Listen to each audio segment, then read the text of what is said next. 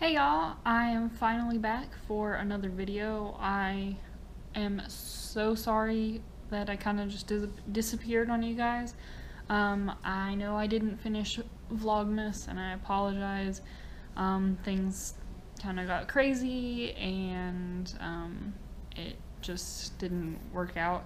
Um, to put it lightly, it was a train wreck. So I did it as long as I could and then it just stopped working.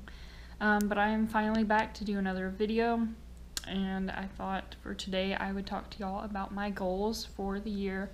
Um, I don't know, I don't really believe in actual like resolutions because to me, um, when I think resolutions, I think like totally crazy, like I'm gonna lose 50 pounds this year, like something that um, you don't usually stick with and that just doesn't really happen. Um, but I do like to at least set goals. So I thought I would share with y'all my top 10 goals for the year. So the first goal is um, I want to make Colors for Kids an official organization. Um, I do a lot of things now. I collect coloring books and crayons and um, I get a lot of support from that and that's great but I just want to make it an official organization so that way um, I have, you know, so it's official and also because then um, like stores are more willing to help and then I can get even more donations that way. So I just, I want to make it official. Um, that way we can accomplish even more. Number two is to be a better friend. Um, I'm not a bad friend but I feel like I could be a better friend. And so I just I want to work on that this year and um, try try to be there more for people when they need me and um, be more open and like understanding and just just overall just like I said be a better friend. All right the next few kind of go together um, but the my third goal is to dig deeper into the Word of God. Um, I really I want to start reading my Bible more. Um, I have an audio Bible and it um, I love it, but it's like it's it's really big and not not very portable. Um, but I still I want to start listening to that um, every day if possible, or at least as much as I can, and to just really like um, look dig into it and like just think about everything, you know, a little bit at a time.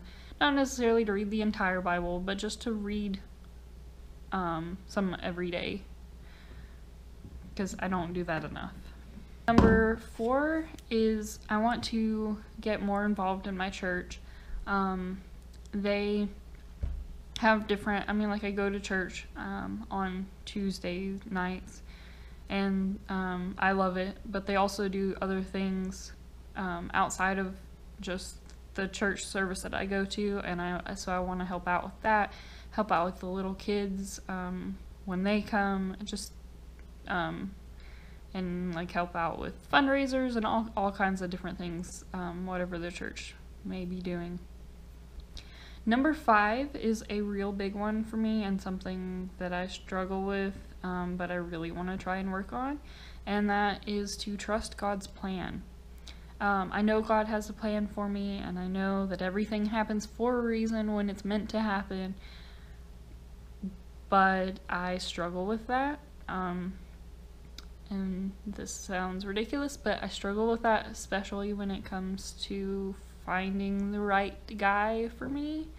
Um, I know that he will come into my life when he is supposed to and that I and I know that there is the right person for me but I still struggle with doubts about if there really is someone and like um I don't know and I struggle with the fact that I don't have anyone right now um and I I want to work on being more okay with the fact that it may be um, five years from now or ten years from now, or it could be that I find someone this semester. Like, I just I just want to be more accepting of that, um, among other things. But that's the biggest thing that I struggle with.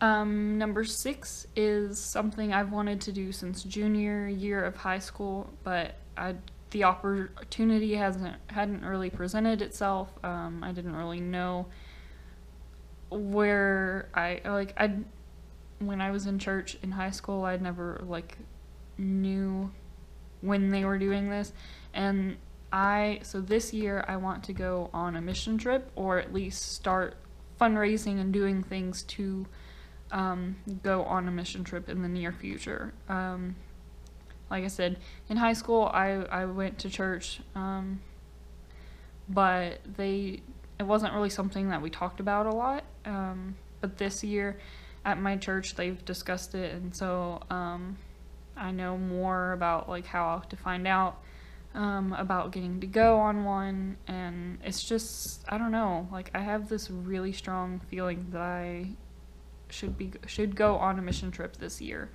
Um, and I don't know how much help I'll actually be, but I at least want to go and help as much as I can.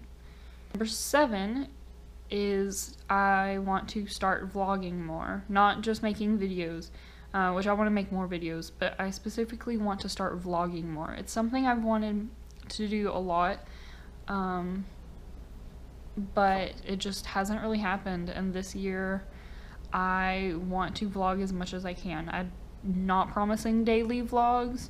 I don't know how often it's going to be, but I, I definitely want to start vlogging more.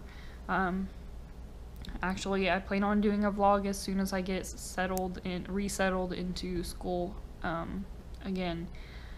But that'll at least be a week or two from now, so we'll see. But I definitely want to start doing more vlogs because it's something I enjoy. Alright, number eight is kind of going going back to the way I was in high school um, because this past semester was kind of hard because I'm used to getting all A's and B's um, in when I was in high school and getting two C's this semester was really hard for me.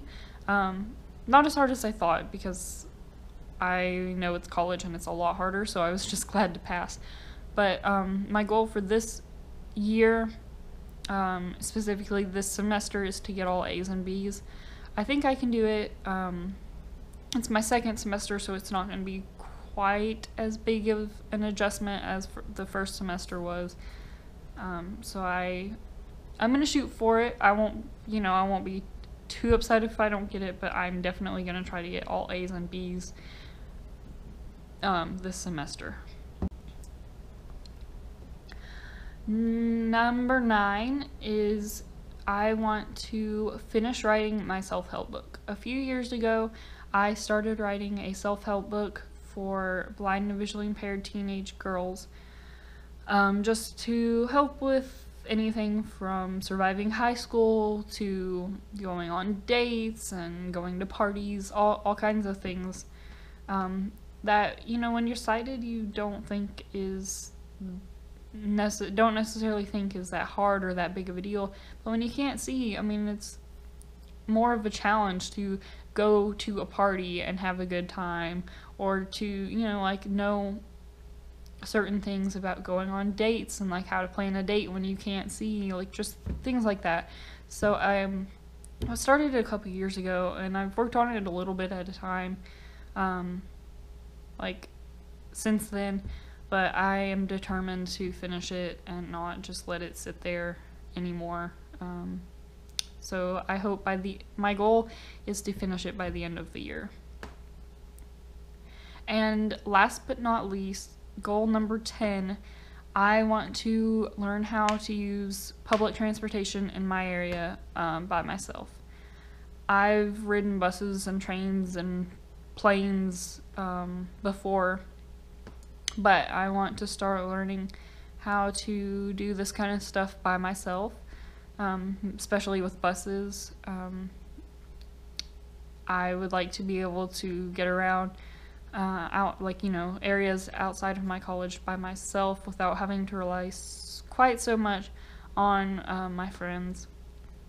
And it would just be nice to um, know how to use the public transportation in my area if I need to go somewhere and I can't get a ride.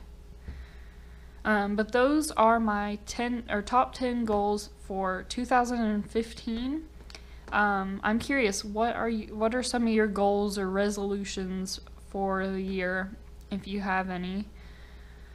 Um, and like, do and I'm curious, do you do y'all believe in resolutions, or do y'all kind of think that they're a waste of time and that people don't stick to them? Um, so leave your comments down below. Um, I hope you enjoyed this video. If you did, uh, give it a big thumbs up. And don't forget to subscribe for more videos. And I will see you on the next one. Bye.